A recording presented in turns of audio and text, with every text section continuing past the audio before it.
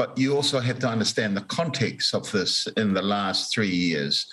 A lot has happened. The Pacific region has received significant profiling of late.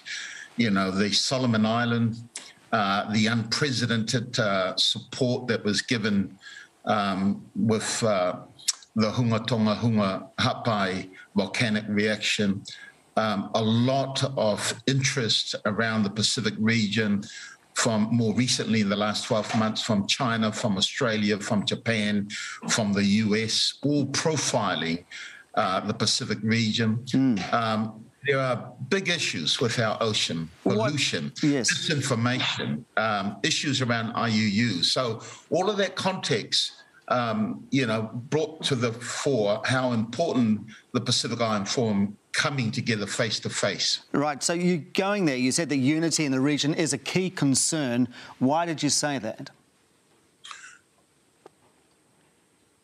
Oh, look, I mean, in the last, uh, I think 2021, the Micronesian states were unhappy with um, the election of the General Secretary. That's no secret.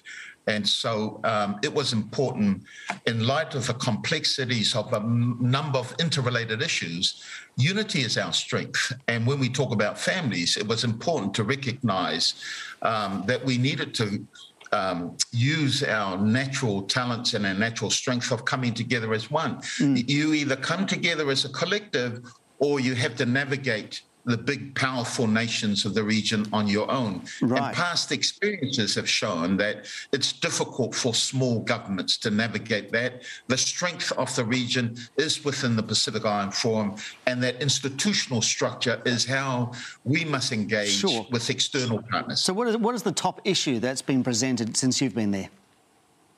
Oh, look, climate change, uh, uh no doubt it, um, you know, the Boe declarations uh, indicated that it was the single greatest threat for the region.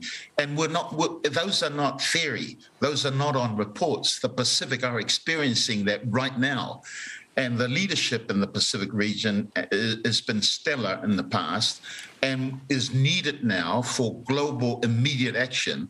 The one point degree goal, mm. we've seen IPCC reports and how the global community is failing um, if we don't act quickly on that. And so that is still the single most okay. uh, security threat to the region. With a, with a new Prime Minister in Australia, is there more hope that there's going to be more action from Australia on climate change? Because this was a tension point last time around with uh, Scott Morrison there we had the uh, one of the ministers um, with us yesterday who conveyed to the forum um, a renewed approach by Australia to climate change and to the region. But there's still a legacy there of uh, the past government that they're going to have to try and win over trust and build good relationships. And I think so far they're, they're, they're on the right track. So uh, Australia is, is, doing a lot. Uh, Penny Wong has been into the Pacific a lot. Next week, the leaders from the Pacific are coming over, including Australia and New Zealand. Top of the agenda, though, for them, though, might be that China's influence in the region. I mean, is the Pacific Islands Forum united about China or not? Look, I think what you have to understand, um, the Prime Minister will come next week with Minister Nanaia Mahuta. I'm here on her behalf. What you have to understand is the relationship with China is not new. Um, you've got some countries who are celebrating 40, even 50 years of of those relationships. So navigating that course with China is not new to the Pacific, but um, there are some significant issues here. The unity of the region, um, the viability of its infrastructure, whether it's fit for purpose yeah. for, for what's happening in the region. Yeah. Um, a new vision for the future. That's going to be important. And of course, economic recovery from pandemic. Nanaia Huta was going to be there. She can't. So you're there on her behalf. What was her personal instruction to you? Uh, there were some issues that that she had um, engaged with leaders and other ministers uh, while she was in Rwanda for the CHOGM meeting, and she wanted me to follow up on that, which I have done right. uh, with Solomon Island um, and with Nauru and with the Cook Islands around undersea water mining. She placed a lot of importance on this forum, said that all these negotiations and discussions had to be done there.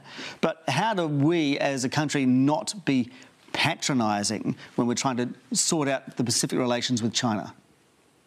I think our rhetoric has changed over time, and certainly when you have uh, Nanaia Mahuta, who is South Indigenous, and she brings to the job those Indigenous values, which the Pacific um, recognize and understand values of whanaungatanga, values of manaakitanga, values of arohatanga. We do all of this work. Mm. You put aside our our roles as ministers or whatever our roles have. At the end of the day, many of these leaders are my elders. Many of these leaders are my brothers and sisters, and so what underpins our relationship now is that of these strong ties as members of the Pacific region. And you're seeing Australia using the same rhetoric now. Okay. Are those ties strong enough to counter what could be cheap loans and guaranteed infrastructure from other players like China and like the US? They, they, they are, they do underpin our engagement, but nonetheless, you know, the COVID pandemic has really highlighted um, significant challenges for small government nations. Give an example, you have in some governments you have two, one or two people who are dealing with with work that in New Zealand we've got 10 or 20 people dealing with. And so our role here is significant because the Pacific do see us in a different light from other nations. We have probably a far better understanding um, with people like myself, mm. who has the cultural intelligence here and long-standing relationship, working relationship as well as family relationship, so they can trust okay. that our approach is about the welfare of everyone in the region. The, the, Prime Minister laid particular importance on the Pacific in a speech in Australia this week. In that speech, she said that investments in the Pacific should be high quality. To me, that sounds like a dig at China. No, it isn't. It's not just uh, China. There are a lot of other players that have come into the region. I, I try to convey to some of our most powerful friends to say to them, when you see somebody who is drowning, you don't ask them what they need. You don't ask them what design boat they want. You help. And, and when you help, then you can talk about other matters. And so it's that kind of approach of better understanding the region.